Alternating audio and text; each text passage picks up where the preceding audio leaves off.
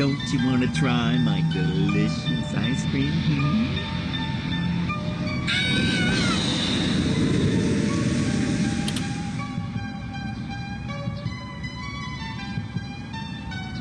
Get in here, you little bastard!